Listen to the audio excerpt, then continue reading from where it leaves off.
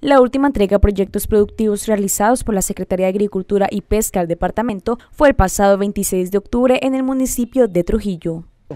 Y yo les vengo diciendo a ellos porque ellos nos agradecen cuando nosotros les damos estos apoyos y nosotros les decimos que no, que por el contrario, somos nosotros los que tenemos que agradecerles a ellos, que después de haber sufrido tanto de la, la situación de la violencia en esta zona, hayan regresado a producir nuevamente y que para eso, eso para nosotros es de mucha satisfacción que ellos eh, tomen esa decisión y tengan ya nuevamente eh, esas fincas y esas tierras que les han entregado, las tengan produciendo. Y la gobernación del Valle los está impulsando y los está apoyando para ese tema.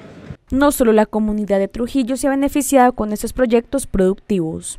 Entregamos eh, siete la semana pasada en Bugala Grande y aquí en el municipio de Tuluá para la zona rural entregamos 11 proyectos productivos. 11 proyectos productivos fueron entregados a las víctimas del conflicto armado del municipio de Trujillo.